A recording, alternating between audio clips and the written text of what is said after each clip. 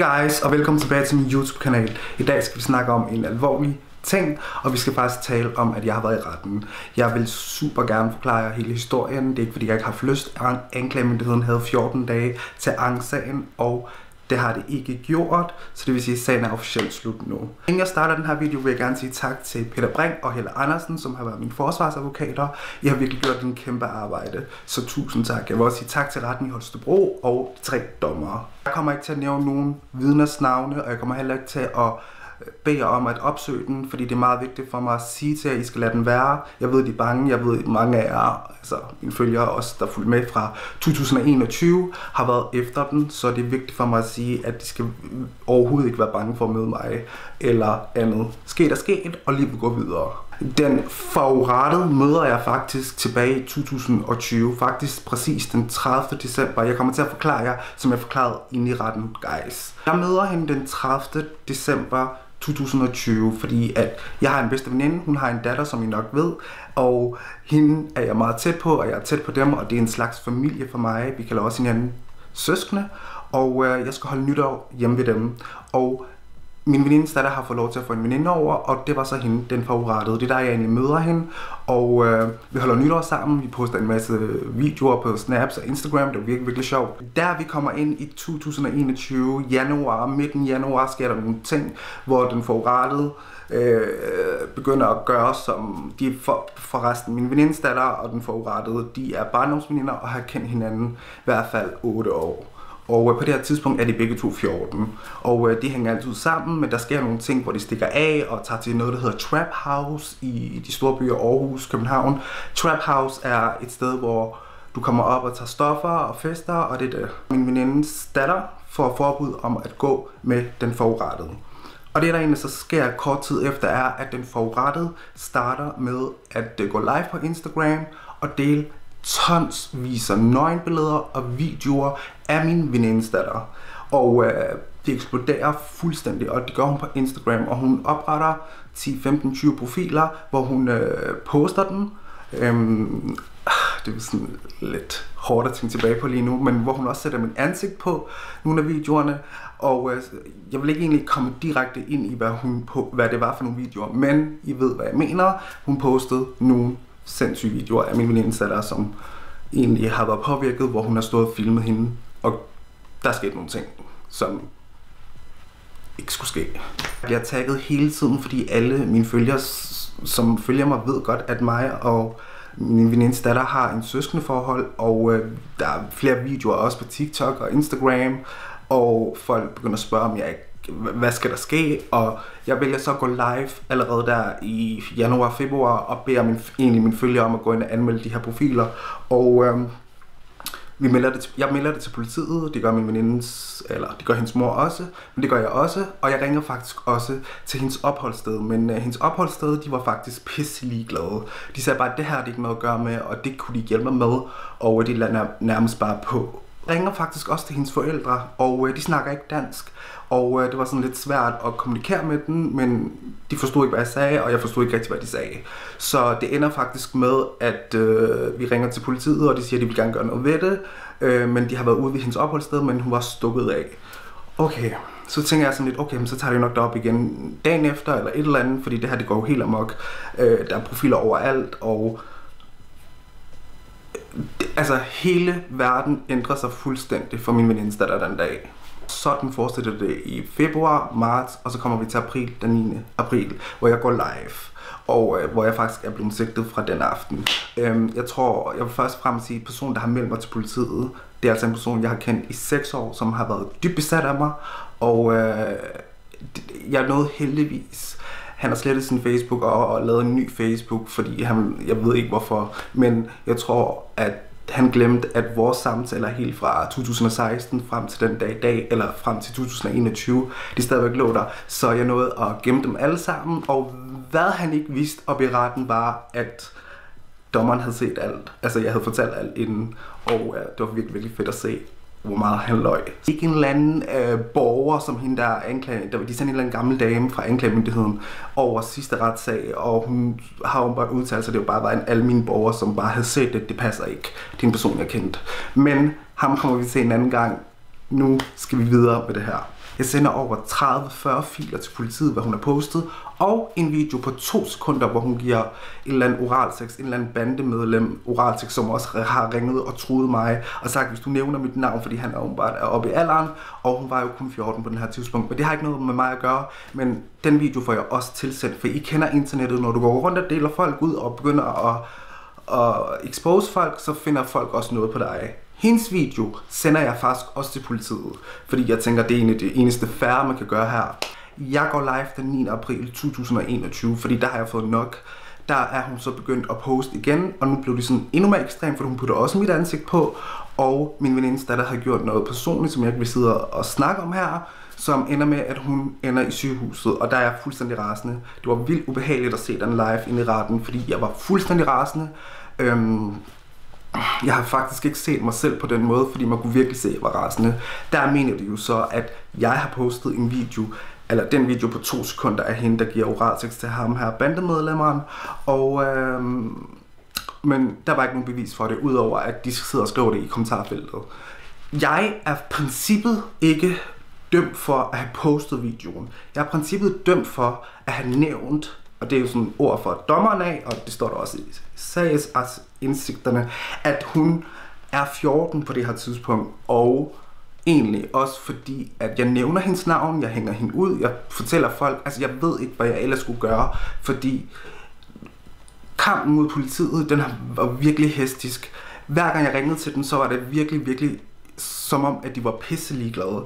Der var på et tidspunkt, hvor jeg ringer ind der den 9. april, inden jeg går på min live og fortæller dem, at nu er hun gang igen, og nu er det så voldsomt, og nu putter hun mit ansigt på.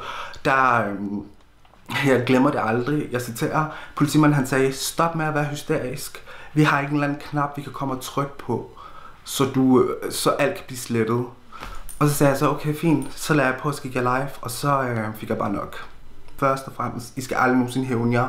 Lige meget hvad, lige meget hvor meget den her person har gjort jer, lige meget hvad en person har gjort jer, så skal man aldrig hævne sig og udleve selvtægt, som jeg egentlig har gjort her. Jeg har jo hængt hende ud, det er jo ikke nogen hemmelighed, det har jeg også indrømmet. Øhm, men jeg synes også, det er lidt svært at ikke at hænge en person ud, når personen øh, øh, går selv live og sidder lidt lidt sådan her, undskyld, sådan her med sin telefon med videoerne, mens hun sidder på live. Retten tre gange. Første gang var den 3. august, hvor jeg kommer derop og vidner, og så kom der en ind i to minutter og gik igen, og så dukkede de andre vidner ikke op. Den 26. august, eller den 26. oktober, par måneder, to og en halv måned efter, skulle vi i retten igen, hvor de, øh, vidnerne faktisk bliver anholdt, for, fordi at de jeg ved ikke, altså når du ikke møder op til retten, så bliver du sådan anholdt dagen inden øh, første omgang for at sikre, at du kommer til retten. Og der havde jeg også fået lov til at få to vidner ind, men de havde corona, og der kunne de ikke øh, komme ind i retten på det her tidspunkt, hvor du ikke kom ind i retten, når du havde corona.